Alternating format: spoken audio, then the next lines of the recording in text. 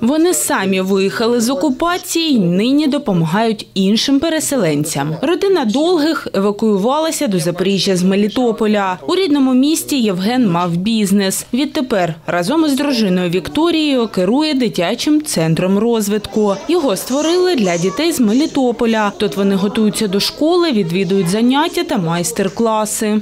Ми е, заснували е, дитячий е, центр розвитку дитячої мрії. Ви дивились там, що там відбувається. Туди входить, уходить е, около 150 діток за июнь місяць. Для допомоги переселенцям заснували у Запоріжжі і благодійний фонд. Нині у ньому 40 волонтерів. Всі вони також виїхали з тимчасово окупованого Мелітополя. приходити до, нас і допомагати, розвантажувати гуманітарний груз, розбирати його, видавати, спілкуватися з е, людьми. Євген пригадує, волонтерили з дружиною у рідному Мелітополі з перших днів окупації. Привозили хліб та їжу хлопцям, які слідкували за громадським порядком. Допомагали містянам. На 10-й день Великої війни до офісу, де працював Євген, увірвалися люди в балаклавах та зі зброєю. Каже, його почали бити та вимагати 100 тисяч доларів. Закрили е, працівників в окремій кімнаті. За мною знаходилось 5-6 чоловік, я їх не, читав. В іншій кімнаті я підвергався із збізбієнням на протязі около ну, там, час чи два, я не, рахував час. От, е, були виставлені определенні требування в плані е, надання е, викупу за мене. Вони ще не знали, як це робити. Надали час.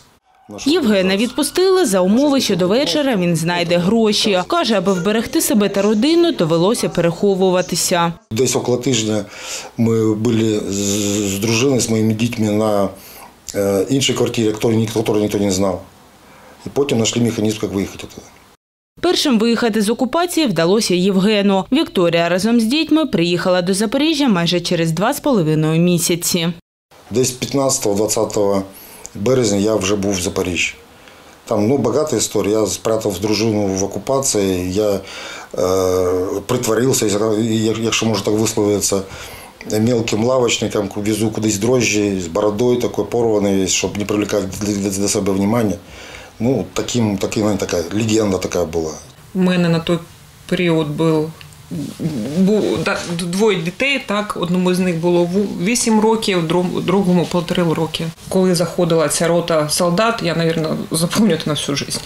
Тобто ми їх приїхали, ми опустили стекла.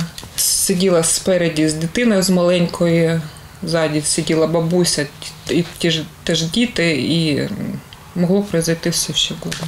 Подружжя планує і надалі продовжувати допомагати мелітопольцям та скоріше повернутися до рідного міста, каже Вікторія. Ми бачимо квітучу Україну. Ми дуже хочемо додому, е, і наша праця вона на цьому не закінчиться. Ми будемо далі працювати, будемо робити все, щоб наші дітки, наші дорослі як-то забили це все, щоб все це забилося. Олена Лисенко, Геннадій Корчененко, Суспільне новини Запоріжжя.